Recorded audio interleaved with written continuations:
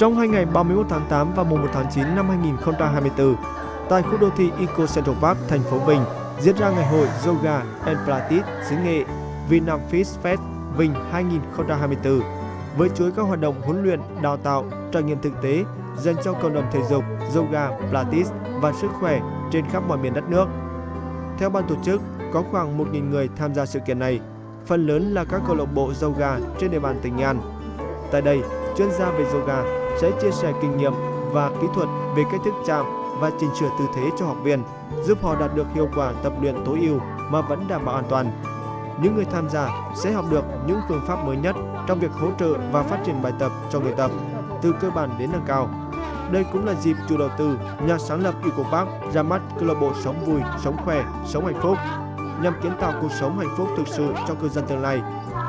Tham gia sự kiện, du khách còn được trải nghiệm các trò chơi như lò cò thú, thử thách cân bằng, vòng quay yoga. Dành riêng cho các em nhỏ là các hoạt động như tô màu gỗ, trang trí khung tranh bằng kem keo, nặn đất sét tự khô, tái chế chai nhựa thành chậu gỗ,